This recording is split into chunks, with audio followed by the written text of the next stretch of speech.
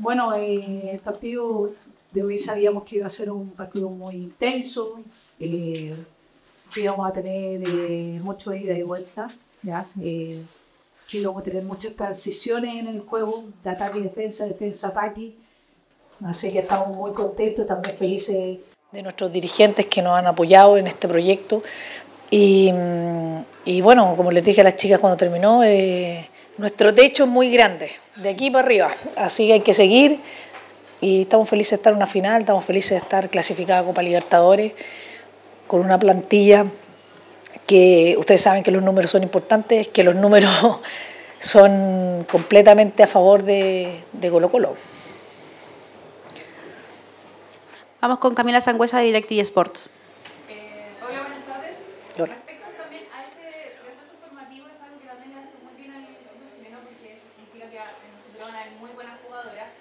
Sin embargo, también es momento quizás, mm, quizás un par de semanas más ya dar vuelta a la página y pensar también lo que va a ser Copa Libertadores. Tú eres una ser muy planificada, muy organizada.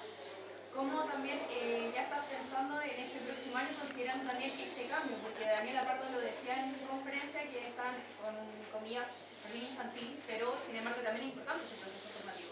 Sí. Bueno, no, no, no puedo pensar dar vuelta a la página mañana. Nosotros ya llevamos eh, varias semanas trabajando con los dirigentes. Eh, la mayoría de nuestro plantel está renovado o casi renovado. Eh, y, y llevamos meses viendo jugadores en el extranjero. Entonces, hemos tenido largas sesiones de trabajo junto con los dirigentes, eh, viendo jugadores en el extranjero. Estamos muy conectados con todos los países porque todas las jugadoras quieren jugar en Santiago Morning. No todas las jugadoras pueden jugar en Santiago Morning. Así que eh, estamos trabajando hace mucho tiempo ya en eso, pensando en próximo año 2024 y Copa Libertadores. Así que eh, eso ha sido un trabajo ya constante, no, no, no hemos parado ya. Y, y, tal como tú dices, somos muy planificados, muy organizados y, y, ahora las chicas tienen que descansar. Nosotros nos quedamos evaluando, planificando para que después el cuerpo técnico tome vacaciones y seguir con toda la, la rutina de pretemporada y todo lo que se nos viene para, para el año. Así que estamos contentos de que las chicas también sientan estas emociones de, de, de perder, de tener muchas posibilidades y, las entendemos, tienen que vivir esto y yo creo que van a estar muy preparadas y vamos a tener grandes jugadores en las selecciones chilenas. Volvemos con Yanis de Planeta 11.